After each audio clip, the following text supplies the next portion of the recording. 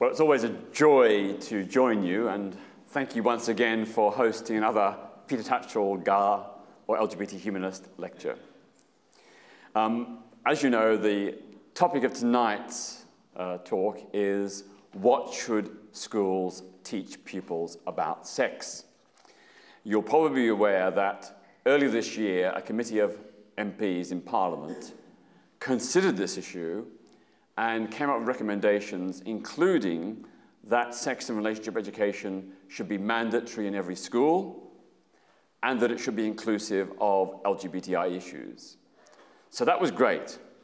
The only problem is the government has ignored the recommendations, even though there was a very strong, solid conservative bloc on that committee who did recommend these important reforms.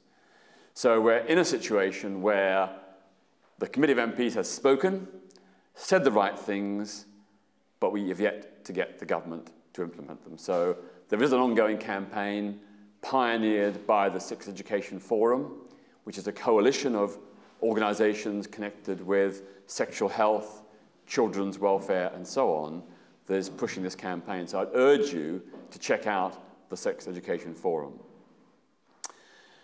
And my starting point tonight is that we know that millions of people enter adulthood sexually and emotionally illiterate. They may have done well in maths, English, science, and so on, but when it comes to sex and relationships, so many young people leave school unprepared for what will surely be one of the most important aspects of their lives the person they love and have a relationship with.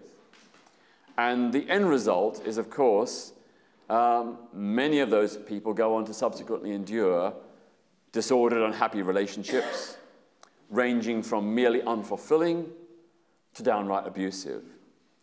Uh, the consequence for millions of people is much unhappiness and sometimes actual physical and mental ill health because they've not received the important life affirming sex and relationship education to enable them to have happy, healthy sex lives and to have emotional fulfillment and satisfaction with their partners. So, to me, the lack of adequate, effective sex and relationship education in this country is part of the problem. Um, we know it does exist, but it's in most schools irregular, vague, and euphemistic. It teaches kids a lot about the reproductive cycle. It teaches kids about guinea pigs and rabbits and other species, but not actually much about human sexuality. Um, and the end result is, of course, that the absence of explicitness, honesty, upfront information means that the practical benefit of that sex and relationship education is very limited. And we know this from the surveys of young people themselves, who have said time and time again they didn't feel that sex and relationship education was adequate, that they didn't learn enough, that it was too uh, vague, too general, too non-specific, and in particular, they say time and time again that the emotional side of sex and relationship education is often ignored or given scant attention. And the emotional side is, of course, very, very crucial to people's health and happiness. Um, so the end, end, result of all these different surveys is that um, young people are saying there's very little teaching in schools about sex or indeed relationships. Having said that, there are some schools that are doing great work, but they're a very, very small minority. And there are some uh, external bodies that go into schools and do great work addressing these issues, but by and large, they are not representative. Um, the other complaint we have from young people is that so often, sex and relationship education starts too late, often after they've begun their first sexual experiences. So when they had those first experiences, they didn't have even the limited information that they were subsequently given. Now, my view is that if you want to protect young people's health, for example, safer sex to protect against HIV and other sexually transmitted infections, plus the risk of unwanted pregnancies and abortions, um, you have to start this education early, before young people slip into bad habits. If young people are aware of the responsible, healthy way to behave from an early age, when they begin their sexual lives, there's no guarantee they'll do it, but they're more likely to do it. Um, I have to cautionary add that while sex and relationship education shouldn't encourage young people to have sex at an early age, I think the consensus is that amongst both educators and young people themselves, that it's best if they delay first sexual experiences until they're fully physically and emotionally prepared. So I don't want to encourage early sex, but if they're going to have sex, at least they ought to be prepared. If they're going to have a relationship, at least they should have the basic information about how to make that relationship work and to deal with the kinds of ups and downs that relationships inevitably involve. Um, you may know that the government's education watchdog, Ofsted, some years ago did an investigation and said that the amount of time spent on sex and relationship education in schools was woefully inadequate and that much of it is of very poor quality. Partly because, of course, teachers are not given training in how to do sex and relationship education. They get training in history, physics, English, mathematics, but not in the delivery of sex and relationship education, unless they go on a special course run by the Sex Education Forum, which is doing great work, but so far has only, I think, reached a few hundred teachers out of the tens of thousands around the country. Um, the Social Exclusion Unit noted, and I quote, the universal message received from young people is that sex and relationship education they receive falls far short of what they would like. So this begs the question what needs to change in order to make sex and relationship education more effective, more relevant, and appropriate to young people's needs and requests? So, what I want to do tonight is give you a few suggestions, some few bullet points about what good sex and relationship education might involve. For me, the first principle is the recognition that sexual rights are human rights. Um, human rights are not just about the right to protest or freedom of speech, they're also about the right of sexual self determination, the right of any adult person to love another adult person of either sex or both sexes and to engage in any mutually consensual, harmless sexual act with them, and consequently to share a happy, healthy sex life. I think those are human rights. As I said, love and relationships are two of the most important things in most people's lives. It is a human right that they're able to enjoy those lives and have sexual and emotional fulfillment. That brings me to the second point, which is, as I mentioned, the right to sexual self determination. I'd like to see every school promote the message it's my body and it's my right to control it. Um, the idea is to ensure that young people assert their right, what they and others do with their body, including the right to abstain from sex, to say no, and to report abusers. The right to be LGBT or straight, that's a really fundamental issue of sexual self determination and gender identity self determination. And I think that this ethos of young people being able to assert their right to control what is done to their body by themselves and others, that is very, very fundamental. Um, the ethos of sexual self determination is crucial in order to thwart people who attempt to pressure youngsters into abusive relationships and risky sex. And although much of the focus is on older people exploiting younger people, there's a lot of peer to peer pressure and exploitation as well. So we need to challenge that with this ethos of it's my body and sexual self determination. Um, many people have pondered over the issue of the ethical framework, and I really think it's quite simple. The ethical framework that I think ought to be taught in schools is the principle of mutual consent, respect, and fulfillment. If you stand by those core three elements, I don't think you can go far wrong. Um, I think it's very important that sex and relationship education acknowledges diverse sexualities, gender identities, and lifestyles, while also giving young, young people and teenagers guidance on their rights and responsibilities, including teaching about issues of consent. You know, what constitutes consent? You know, when is a relationship consensual, when is it not? You know, just because someone doesn't say no in certain circumstances may not mean that they're actually consenting. And I think some of you may have seen the, the recent film produced for young people which explored this issue and uh, the particular case of one young man who had sex with his girlfriend while she was partially asleep.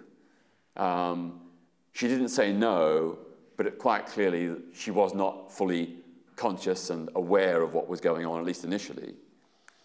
Um, so those are really important issues. And the other element, of course, is that although we have great concern now, and quite rightly, about sexual abuse, whether it be adult to adult or adult to child. A, those are very legitimate and very disturbing elements. Uh, what is really astonishing is that sex abuse issues are not discussed in most schools. You know, some schools will say, oh, phone childline, but they don't actually teach and empower young people to take a positive stand against unwanted sex, whether it be from someone their own age or someone older. So, as I said, to me, the basic ethical framework can be summed up in those three ethical principles mutual consent, reciprocal respect, and shared fulfillment. Um, the great advantage of these principles is that they apply universally, regardless of whether people are married or single, monogamous or promiscuous, hetero, homo, bi, trans, or intersex. Those principles apply to everyone. And they're really simple, really easy to remember. Another important element, I think, is the promotion of safer alternatives to sex, such as oral sex and mutual masturbation. Um, I think if schools are serious about cutting the incidence of teenage pregnancies and abortions, and HIV infections and other sexually transmitted diseases, they ought to at least highlight the fact that there are alternatives to intercourse. That intercourse, vaginal or anal, is not the be all end all of sex. That you can have great sex without that kind of risky or potentially risky behavior. Um, we know that oral sex and mutual masturbation carry no risk of conception. So, no unwanted pregnancies, no need for unwanted abortions. And of course, they also carry a much, much lower risk of HIV and some other sexually transmitted infections. Now, to me, just telling people about these alternatives is not enough. Um, some of you may have seen the book I wrote in the 1990s called Safer Sexy, The Guide to Gay Sex Safely, which was a glossy coffee table type book which had lots and lots of explicit sexual imagery and the purpose and intention was to make safe sex look and feel glamorous. So it was appealing rather than boring, attractive rather than restrictive. And I think that's what schools need to also do. to present images and information about how exciting and fulfilling alternatives to intercourse can be. Um, emphasizing their advantages over intercourse and stressing the fact that they carry no risk of unwanted pregnancies and reduced HIV risk. And of course, no need to use the pill or condoms. Um, while mutual masturbation is pretty much totally safe, uh, oral sex, of course, can transmit sexual infections, so it is safer than sexual intercourse, but not entirely risk free. And that message also, of course, needs to be sent out to kids as well. Uh, another thing I'd say is that schools ought to positively say that sex is good for you. Um, sex and relationship education ought to acknowledge that sex is good for us. Um, it's natural, wholesome, fun, and with safe sex, it's healthy. Um, we know that good quality sex, particularly backed up by you know, a loving, supportive relationship, can greatly enhance people's physical and mental well being. That if you're stressed out, um, if you're frustrated about your job, and you have great sex, um, it doesn't solve the problem at work, or, but certainly it, it gives you a distraction. It, it, it provides an, a, a diversion. And, you know, it's good exercise. Sex is very good exercise. Um, it, young people have a right to know that um, while sex is not essential for health and happiness, some people get by without it, and that's fine. Um, most people find that regular, fulfilling sex lifts their spirits, enhances their lives, and their relationships. Another principle give young people all the facts. Um, sex and relationship education ought to tell the whole truth about all different kinds of sex and relationships, including sexual practices that some people may find distasteful, such as anal intercourse and sadomasochism. Um, the purpose of detailing these other images and other practices is not to encourage them, although they shouldn't necessarily be discouraged either, provided they're consensual between adults and without harm. But the purpose is to ensure that if young people encounter them in their lives, perhaps not when they're young, but later on, that they will understand them and be able to deal with it. And they won't be so afraid and intimidated. They can still say no, but they won't have perhaps the shock factor and the um, you know, fear that they might have if they were uninformed. Another principle is that heterosexuality, homosexuality, bisexuality, transgenderism, and so on, these are all valid, equally valid expressions of sex and relationships. Uh, when they're based on mutual consent, respect, and fulfillment between adults, both opposite sex and same sex relations are equally morally valid.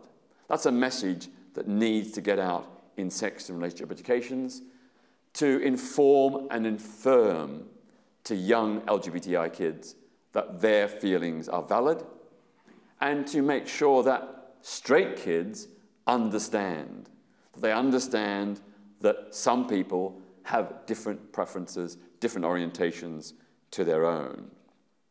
So, of course, while no school should promote any particular sexual orientation, they should encourage understanding, knowledge, and acceptance of heterosexual, homosexual, and bisexual orientations, and of course, of transgender and intersex identities. And that's in order to ensure people's self acceptance, because some of them will be LGBTI, um, and also combat prejudice, discrimination, bullying, and hate crime. If young people understand the diverse sexualities and gender identities, they're much less likely to be prejudiced in later life. And then, controversially, I think um, schools need to teach young people about how to have good sex. You know, sex and relationship education ought to be actually about sex and relationships. It ought to give young people the knowledge so that they can have sexual fulfillment. Um, to me, sexual literacy is just as important as literacy in words and numbers. Yep. Good sex isn't always obvious, it has to be learned, like every other aspect of the school curriculum. So, to ensure happier, more fulfilled relationships in adulthood, sex and relationship education for pupils aged 16 and over ought to include advice on how to achieve mutually fulfilling, high quality sex, including the emotional and erotic value of foreplay. Most young kids don't automatically know about erogenous zones. Young boys have a marginal knowledge about the clitoris. Um, a lot of young gay and bisexual men are very fearful of anal sex and don't know how to do it properly. Um, these things ought to be taught for the sake of people's sexual and emotional happiness, for the sake of their health. Um, I'm sure many gay men will tell stories of when they were first screwed and how painful it was. Well, that's obviously because the person doing it wasn't doing it right. Uh, and kids need to be taught how to do it right and be told about the joy of anal sex. I mean, the prostate gland is the secret male sex gland, which is why it is so pleasurable if the person doing it to you knows how to do it properly. Um, so the multitude of erogenous zones uh, and how to excite them, how to achieve good orgasms, deep breathing, muscle contractions, all those things ought to be taught. Not because you're seeking to sexualize young people. By the age of 16, most of them have already had their first sexual experience of some sort. The purpose is to make them able to have a happy fulfilled one, and very importantly, to make sure their partners have a happy and fulfilled one. If they don't understand their own bodies, how can they understand the bodies of their partners? How can they understand the value and importance of erotic foreplay and so on? Then there's live and let live. Human sexuality embraces a glorious diversity of emotions and desires. We're all unique with our own individual erotic tastes. People are sexually fulfilled in a huge variety of different ways. And providing it's between adults with consent and mutual respect and fulfillment, that's fine. Whatever turns you on. Uh, providing, as I said, behavior is consensual, no one's harmed, it's between adults, the enjoyment is reciprocal. Schools should adopt a non judgmental live and let live attitude. Emphasize the mutual consent, respect, and fulfillment, but beyond that, don't take moral judgments about different types of sex and different types of pleasure. I also think that sex and relationship education ought to begin from the very first year of primary school. Of course, it needs to be age appropriate. I think at the first year of primary school, you don't talk about sex, but you talk about relationships, you talk about love, that love can be between a man and a woman, or between two men or two women, or between you know, a person who's trans and a person who's straight, a person who's intersex and a person who's gay. Lots of different options. And I think young people understand that basics of love. And where this kind of teaching has been trialed, young people get it. My neighbor's daughter uh, was on uh, was watching TV the other day, and she saw two men kissing, and she said, "Oh, I've heard about that. Isn't that lovely? Isn't that sweet?" I don't know where she heard about it, but it was good that she knew and she wasn't shocked, and even better that she thought it was sweet. So I think that in these first years of primary school, talking about love and diverse families and diverse relationships, that some kids will have two mummies or two daddies, that's really positive because that makes those kids in the school who have two mummies and two daddies feel affirmed and valued and recognized and helps break down the prejudice, I hope, of other kids as well. Um, it's also very important that in primary school, teachers start talking about the changes that will happen in young people's bodies at the age of puberty, which now can range between the age of 8 to 12. Young people are approaching puberty or experiencing puberty at an increasingly younger age. So by the age of 8, which is about the earliest age that most kids experience puberty, they need to know. So they're not afraid of body changes like pubic hair and, uh, in the case of girls, menstruation and so on. Um, also, of course, those young people need to know what is appropriate and, you know, to be taught about appropriate and inappropriate touching. Um, then, of course, at secondary level, it can become more explicit, more detailed, more upfront. Now, the reason for starting so young, again, is not to encourage young people to have sex, but to ensure that they know about the physical changes that will take place in their bodies and the desires that will develop. So it's amazing to this day how many young girls, when they first menstruate, have this fear of terror because no one explained it properly. Some young boys get very uh, frightened when they get their first erection because no one's told them. Now, that's a fairly small minority these days, but the fact that any child goes through that is quite clearly a social failing.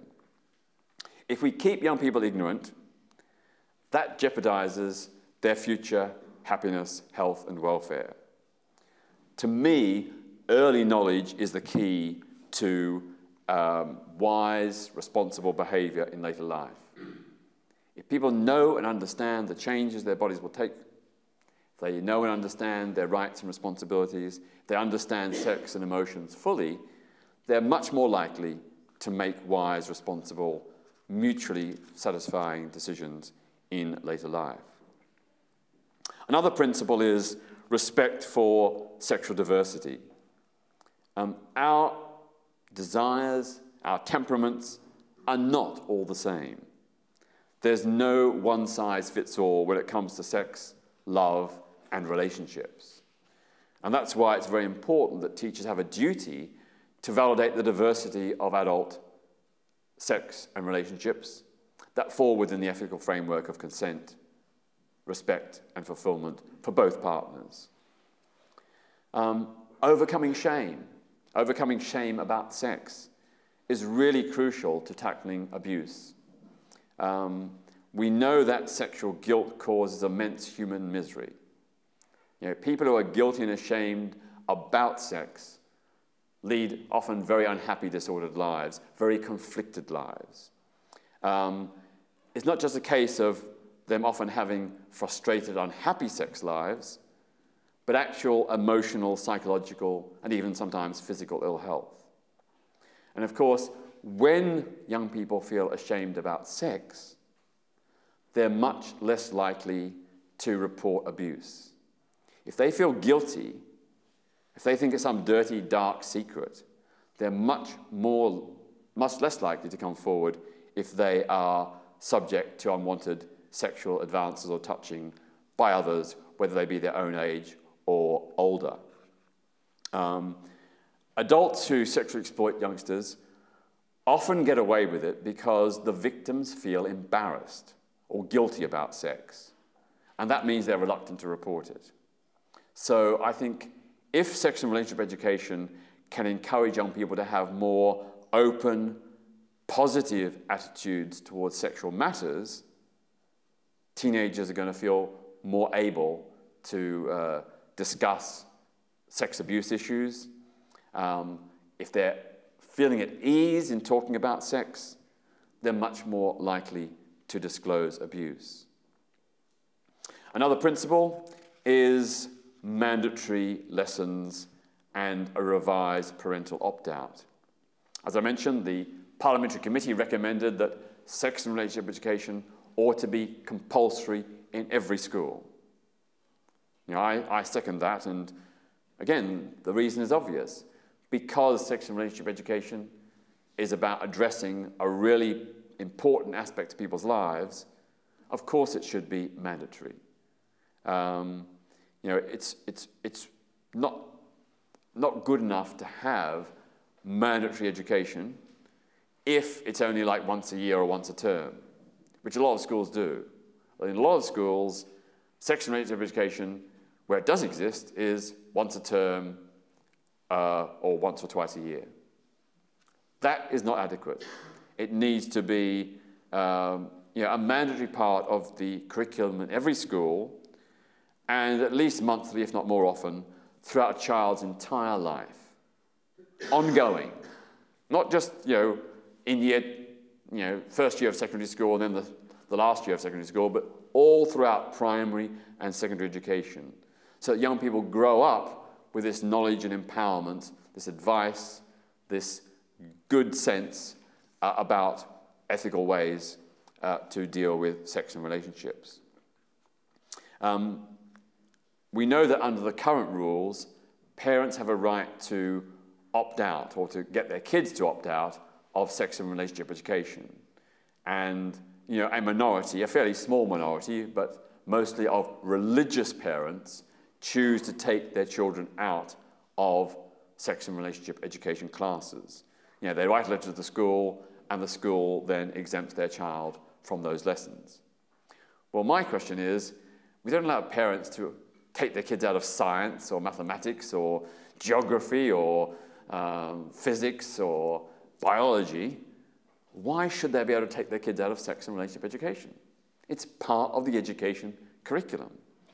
Um, so I've come up with a slightly modified version of the parental opt out because I know that politicians are too cowardly to insist that parents should not have the right to take their kids out of classes. So, what I'm suggesting is the policy ought to be modified to allow parents to take their kids out of those classes, but require them to come physically to the school each lesson to physically take their child out of that class. Now, of all places, this was trialled a few years ago in Northern Ireland by a couple of schools. And the parental withdrawal rate plummeted to zero. Parents had a view, but they were too lazy to come to the school every week or every month, whatever, to take their kids out. So that's a way around it.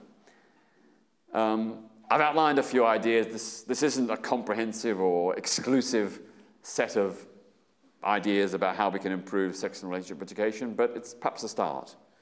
And I think that the Education Secretary, Nicky Morgan, really has to think hard about why her government is not agreeing to make sex and relationship education mandatory, why she's not insisting it has to be LGBTI inclusive.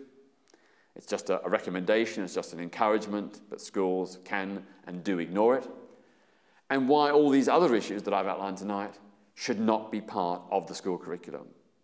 The responsibility is the Education Secretary to answer why not. And I think all of us who care about young people's health and welfare and care about the welfare of adults who have not been properly prepared by the school system and therefore had unhappy, unhealthy, and disordered sexual emotional lives, if we care about that, we must push for change. Thank you.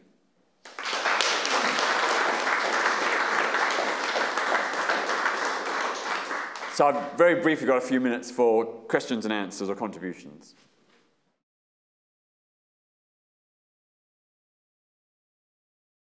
Well, it, it, it, can be, and sometimes is, you know, a very useful tool. And Sex Education Forum and others have done some work in this area, but it hasn't been properly funded. It hasn't been sustained. That's not really a criticism of them because they're under-resourced, understaffed, and underfunded. But I certainly think that using social media can be a very important, powerful way to get these messages out in the absence of them being put out by and through schools.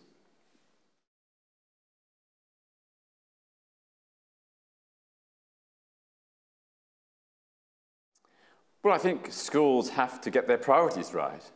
I think right now the priorities are not right at all. Uh, as I said, sex and relationships are two of the most important things in people's lives. For most people, their lives revolve around the person they're in love with and living with. Uh, and we need to make sure that they are able to achieve for themselves and their partner the maximum sexual health, happiness, and fulfillment. So I think school resources or education resources need to be made available for these issues. And the government needs to, if necessary, put in extra funding. And a very good place to start would, of course, be in explicit teacher training in this issue. Um, I'm not entirely up to speed in the last couple of years, but when I last checked a couple of years ago, um, sex and relationship education does not feature in most teacher training courses. And there is no teacher training module for how to teach sex and relationship education. There obviously is for the science subjects, mathematics, English, and so on, but not for sex and relationship education. So I think providing that training so that teachers are um, fully aware of all the issues and know how to teach the subject in an effective way, that's a vital part of the equation.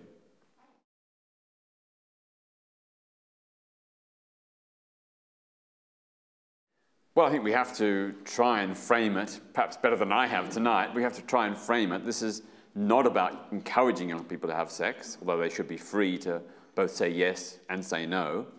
Um, it is about preparing them for adult life and protecting them uh, from sexual ill health and protecting them from emotional ill health. You know, most schools, they teach young kids nowadays how to roll a condom on a banana. But they don't teach young people what to do if their partner refuses to wear a condom. So they don't teach them about alternative forms of sex. Um, they don't teach young people about um, all the different kinds of things one can do in the build up to sex.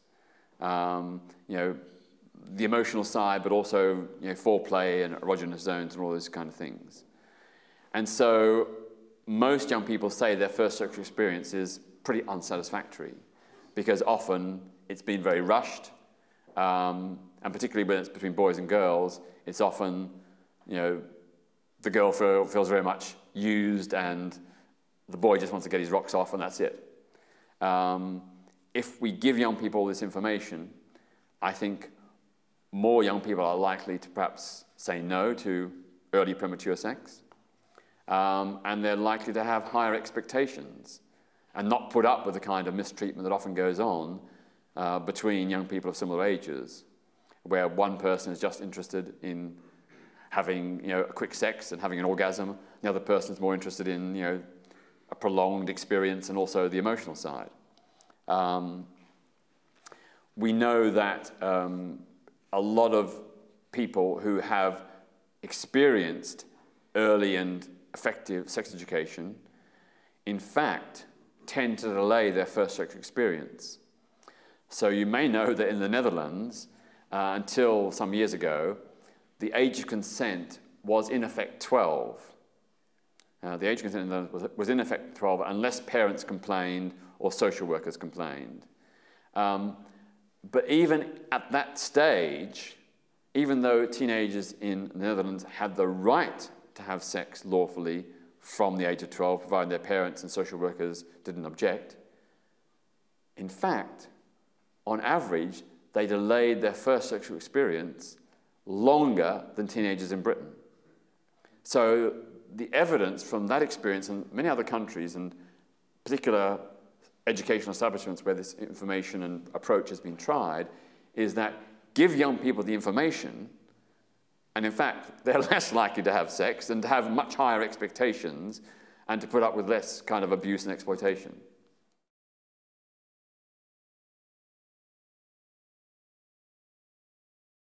Well, of course, the Sex Education Forum is very poorly funded. So they've got a limited capacity. Um, there are some other organizations as well, but they do tiny, tiny work. Um, so that's the big problem the government is not recognizing the importance and value. And of course, it shouldn't be up to the Sex Education Forum to do this teacher training. It should be done by the Department of Education and the relevant schools, universities, and teacher training colleges. Uh, so that, that's one issue. Um, the second issue is, of course, um, when it comes to teaching about sex and relationships, um, we need to ensure that, yeah, we educate more parents about these issues. So, as you suggest, parents won't be so up in arms, and therefore politicians will feel more uh, confident. So, any of you who are on school governing bodies or have kids or grandkids or relatives with kids at school, it's really important that you make sure that they make representations to the headmaster and the school governing body that you want this kind of good quality sex and relationship education because the other side who doesn't, they certainly do make representations. Um, just in terms of LGBTI issues, um, I'd recommend very strongly uh, a website called The Classroom. The company is theclassroom.com. It's been set up by Schools Out, the LGBT schools and education body, uh, and it is a module of lessons about LGBTI issues. So teachers can go to that website and download lessons. It's not strictly about sex and relationships, it's more about LGBTI issues, but it's a really, really effective, valuable resource. I always, when I go to schools, always talk about it, and the feedback I get from teachers is, wow, that's fantastic.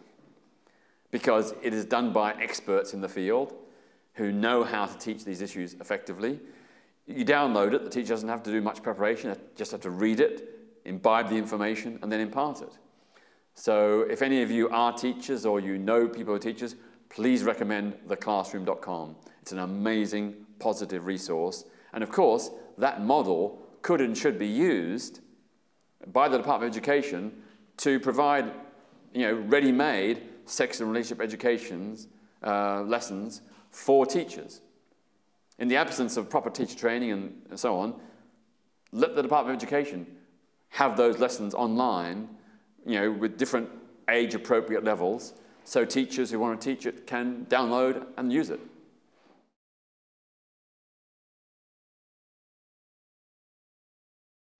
Well, of course, in some of the European countries, they do. You know, they do have sex and, relationship education on TV uh, in the form of adverts or programs that are sometimes funded by government bodies. Sadly, we are too scared and timid and Puritan. But that will change. That is changing, and we need to help make it change faster. I'm going to have to do the last question now.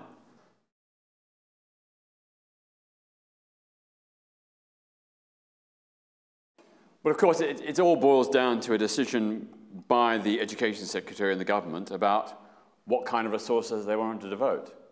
And they've taken a decision that these issues are not very important. I think that's the wrong decision, and I think we need to challenge and change it. So one thing you can all do from this meeting is perhaps, you know, go and look at theclassroom.com, go and look at the Sex Education Forum uh, website, um, and I think on there, on the Sex Education Forum website, there is a standard letter you can write to your Member of Parliament. Um, I think you may be able to do it directly from the website, but if not, go to writetothem.com, write-to-them.com, write-to-them.com. It will ask you to put in your postcode, and then it will tell you who your Member of Parliament is, and you can email them direct from that website. Enough people, if enough people actually make that demand, it will help embolden, I think, in time, it will help embolden more MPs to take a stand in favour of mandatory, inclusive sex and relationship education. On that note, I want to thank you all very much.